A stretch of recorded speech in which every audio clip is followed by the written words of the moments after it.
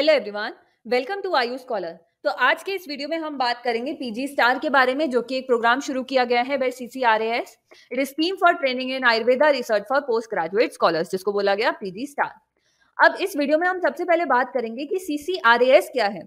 CCRAS है central council for research in Ayurvedic sciences which is under ministry of AYUSH इसमें क्या होता है? जो भी रिसर्च रहती है in the field of Ayurveda वो सीसीआरएस के द्वारा कराई जाती है. बहुत सारी काउंसिल इसके अंदर आती हैं. जैसे कि medicinal plant research drug standardization pharmacological research clinical research literary research documentation and health care research program to various outreach activities जो सीसीआरएस है सीसीआरएस ने पहले एक स्पार्क करके प्रोग्राम इनिशिएट किया था, जो कि जिसका फुल फॉर्म था studentship program for Ayurveda research can ये किसके लिए था? ये अंडर ग्रेजुएट स्टूडेंट्स के लिए था of Ayurveda that is BMS students के लिए था। एक आयुष पीएचडी फेलोशिप स्कीम निकाली थी to meritorious post graduates of AYUSH system and CCRS post doctoral fellowship scheme for PhD scholars of AYUSH to identify promising young researchers with innovative ideas उसी तरीके से एक नई स्कीम इन्होंने निकाली है पीजी स्टार करके। पीजी स्टार कैसे स्कीम है? इसका जितना भी डिटेल्स है, जो भी ब्रोशर उन्होंने दिया था, वो मैंने स्क्रीन पे शेयर किया है।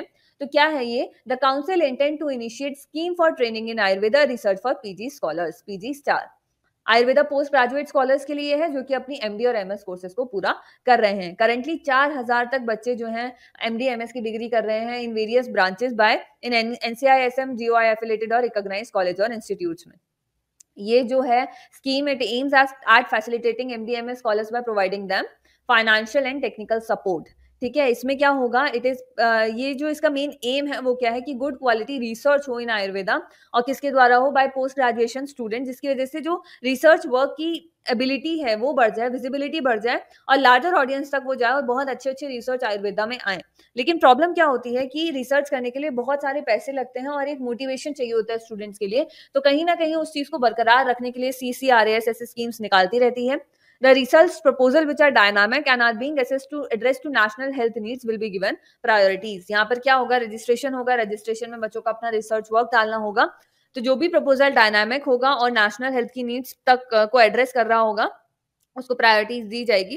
और एरियाज़ को कैसे प्रायोरिटाइज किया जाएगा? Literary research fundamental concept as applied to current health care standardization and validation of the quality of ayurveda drugs assessment of safety of drugs techno innovation ayurveda intervention in public health care and role of ayurveda as a standalone or adjuvant treatment in national health program etc अब इसकी कितने कितनी scholarships रहेंगी वो मैं आपको आगे बताऊँगी तो जो टोटल अमाउंट ऑफ़ स्कॉलरशिप होगी वो कितनी होगी तो एक लाख तक की स्कॉलरशिप मतलब एक लाख या उससे कम की स्कॉलरशिप हर एक स्कॉलर को मिलेगी टोटल कितनी नंबर ऑफ़ स्कॉलरशिप्स होंगी हंड्रेड होंगी पर ईयर अब इस प्रोग्राम में एनरोल करने के लिए आपकी एलिजिबिलिटी क्या होनी चाहिए? एक तो सबसे पहले इसके नाम से ही पता लग रहा है पीजी स्टार तो पीजी के स्टूडेंट्स होंगे, जो रिकॉग्नाइज यूनिवर्सिटी और कॉलेज से होंगे या एनसीएम या जीओ आई रिकॉग्नाइज से होंगे, उन्हीं के, वही इसमें एलिजिबल हो सकते हैं, या and who wish to avail CCRS financial assistant for pursuing their research project या फिर जो पीजी का जो स्कॉलर है, वो क्या होना चाहिए? वो एक इंडियन नेशनल ही होना चाहिए।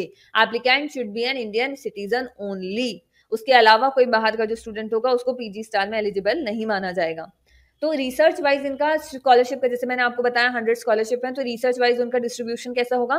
पचास स्कॉलरशिप मिलेगी to the clinical research ten scholarship for pharmacological twenty scholarship for pharmaceutical research drug standardisation techno innovation ten scholarship for literary research and ten scholarship for fundamental research यहाँ पे मिलेंगी। इसके बाद प्रोसीजर क्या होगा? ये पूरा जो भी एक पीजी स्टार का जो प्रोग्राम है एक फुल्ली ऑनलाइन एप्लीकेशन रहेगा। हार्ड कॉपीज ना ही रिसीव की जाएँगी, ना ही एंटरटेन की जाएँगी। और eligible candidates as per their admission batch are required to register on CCRS PG star website in the month of June then submit the application form and proposal online till thirty June every year मतलब अभी जो है आपको जून तक उसको submit करना है और हर साल आपको थर्टी जून तक सबमिट करना है। अकॉर्डिंग टू एडमिशन प्रोसेस जो भी रहेगा बाय एनसीआईएसएम जो रिज़ल्ट होंगे in the month of December वो आपका अनाउंस कर दिए जाएँगे, या फिर जो भी एडमिशन प्रोसेस रहेगा by the NCISM third point में इन्होंने मेंशन किया है कि जो भी रिसर्च प्लान या सिनॉप्सिस अप्रूव की जाएगी, वो या रिकमेंड की जाएगी और नॉमिनेट की जाएगी by the head of respective college और इंस्टीट्यूट वो क्या होगी, वो ऑनलाइन ही आपको शो कर दी जाएगी। इसमें ये लिखा बताया गया है कि जो इंस्टीट्यूट का हेड है, वो रिकमेंड करेगा और नॉमिनेट करेगा मैक्सिमम टेन परसेंट और rounded up to near higher decimal of the total sanction PG strength of the institute for that admission batch for consideration अब क्या बताया गया है? Selection for PG star will be made by technical evaluation committee being constituted by DGCCRAS by inviting panel of experts from Ayurveda institute colleges ठीक है? और वो क्या है? सीसीआरएस आईसीएमआर और डीजीएचएस और सिलेक्शन किसके बेसिस पे होगा? मेरिट के बेसिस पे होगा. Objective scoring would be used to assess the applicants with respective to innovativeness relevance of work transitional value etcetera और जो काउंसिल uh, डिसीज़न लेगी that will be the final decision you can't request for reconsideration okay and reasons for rejection of application for award of scholarship will not be provided. अब इसके बाद है जो scholarship है, इसकी ज्वाइनिंग कब होगी या रिलीज़ कब होगा? तो the selected candidates will be issued the award letter based on budgetary provision of the synopsis the council will provide a total financial support of up to rupees one lakh in two instalment to the selected candidates through host institute on the condition that the candidate would provide following documents to the council at the end of course work जैसा कि मैंने आपको पहले बताया था कि एक लाख तक की स्कॉलरशिप है। तो वो एक लाख तक में कितना देना है, वो कौन कौन डिसाइड करेगा? वो काउंसिल तो डिसाइड करेगी ही, लेकिन वो किसके बेसिस पे करेगी? आपकी सिनोप्सिस के बेसिस पे करेगी कि कितना उसके लिए फाइनेंशियल सपोर्ट की ज़रूरत है। और ये जो आपको फाइनेंशियल सपोर्ट मिलेगा, ये आपको दो इंस्टॉलमेंट में मिलेगा तो और आप किसके थ्रू मिलेगा? आपके इंस्टीट्यूट के थ्रू मिलेगा। अब इसके लिए क्या क्या चाहिए आपको? List of documents to be provided for receiving financial support at the beginning of research work क्या होगा? पहला चाहिए a copy of the duly approved synopsis forwarded through the head of institute second क्या चाहिए होगा? Recommendation letter from head of the institute for nomination of candidate third brief CV of the scholar and the mentor और guide fourth क्या चाहिए होगा? Certificate of approving authority as I और any other ethics committee fifth क्या चाहिए होगा? Account details of the institute for transfer of money six year wise financial status of the organisation and last duly assigned undertaking form चाहिए होगा. ये list of document आपको provide करनी पड़ेंगी for receiving financial support research work के शुरुआती तौर पर उसके बाद यहाँ बताया गया है list of documents to be provided for receiving financial support at the end of course work जब आपका कोर्स वर्क खत्म हो रहा होगा तभी आपको फाइनेंशियल सपोर्ट चाहिए क्योंकि दो इंस्टॉलमेंट बताया तो आपको क्या चाहिए होगा an electronic copy of the thesis submitted to the institute of university a short summary containing outline, the objectives, methodology, findings and conclusion of the research work. Third क्या चाहिए होगा soft copy of the research publications done out of thesis or dissertation. Fourth चाहिए होगा an undertaking to the effect that the funds received from the council will be used strictly for the purpose for which it has been released. अपने private काम के लिए आप उसको use नहीं कर सकते लास्ट क्या चाहिए होगा द स्टेटमेंट ऑफ़ एक्सपेंडिचर भी आपको देना पड़ेगा and utilisation certificate as per G F R twenty seventeen duly approve by the guide and the head of the department university institution for the entire scholarship release for scholar इसके बाद इन्होंने क्या बताया है? The financial assistant maximum up to one lakh would be provided in two instalment जैसे कि मैंने आपको बताया। अब इंस्टॉलमेंट किस किस तरीके से रहेंगी?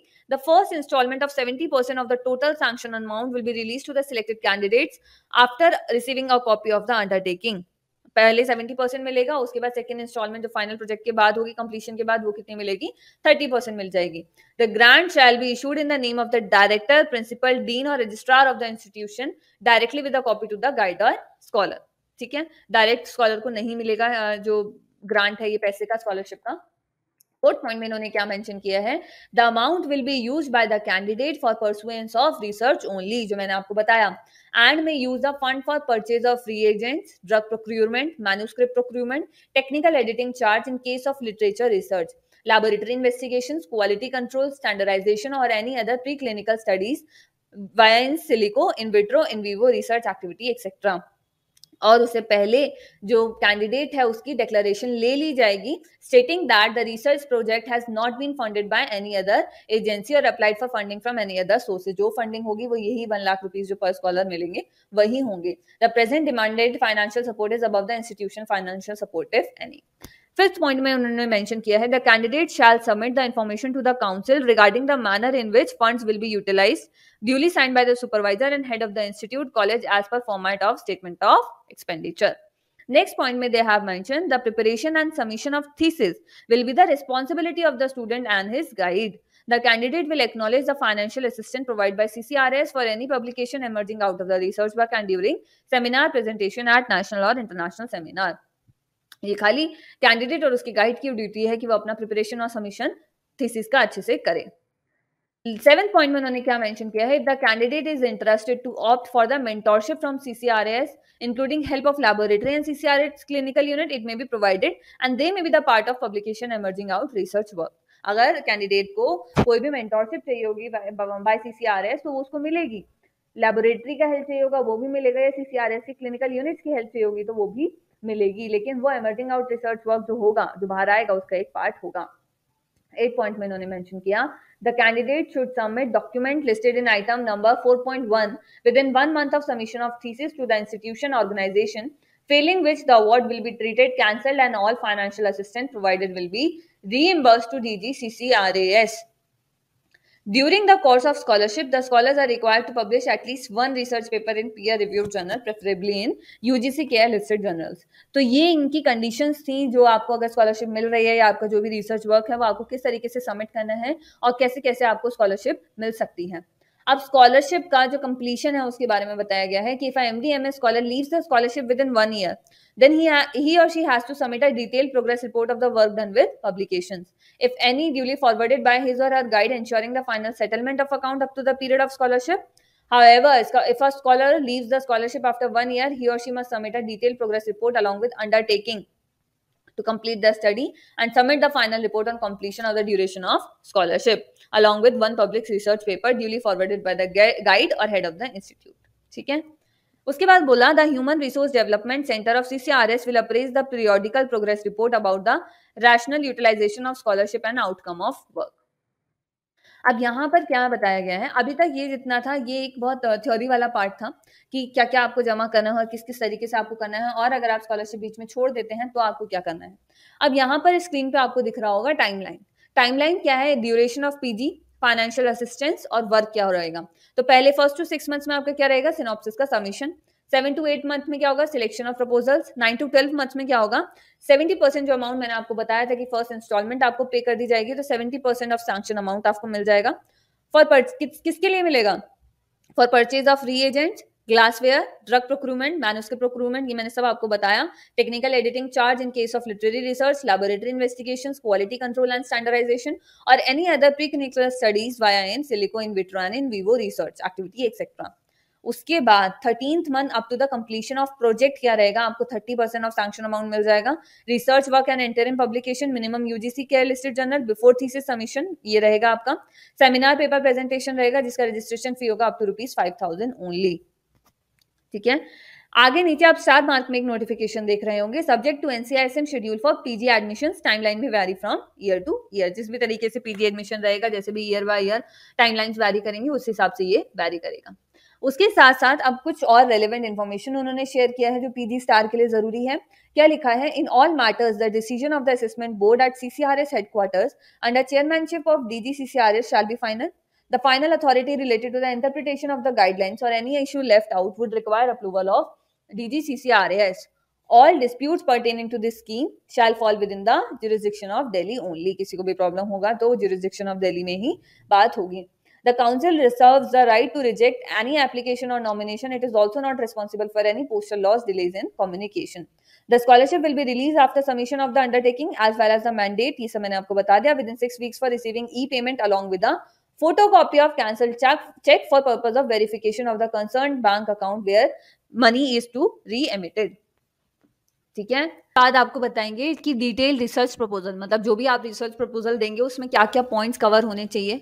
तो पहला उसमें टाइटल होना चाहिए। अब टाइटल के लिए उन्होंने क्या बताया है? The title must depict PICOT giving an overview of the plan proposal at a glance second उसमें होना चाहिए introduction the research proposal should begin by addressing the gap analysis in the research current research proposal followed by the research problem to be investigated in the light of its theoretical and or empirical context in the relevant area third क्या होना चाहिए? Objectives of the study कि the objectives of the proposed work may be defined as primary or secondary fourth क्या होना चाहिए? Research questions or hypothesis the research question to be framed as per the SMART criteria after thorough review of the literature with appropriate hypothesis fifth होना चाहिए review of literature इसमें क्या होना चाहिए? Inclusion of thorough review of Ayurveda classics of the respective discipline followed by current status of research in the area and major findings including the researcher's own work in the area उसके बाद six point जो आपको इसमें mention करना है, वो होगा methodology methodology में भी specified as proper justification of the study including research design data collection and empirical and analytical methods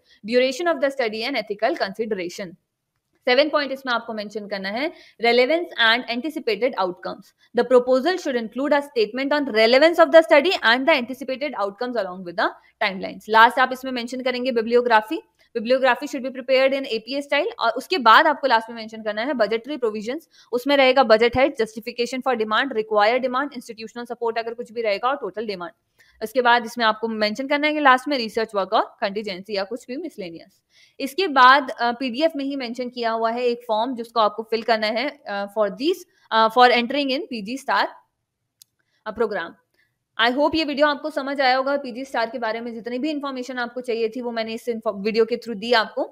all the very best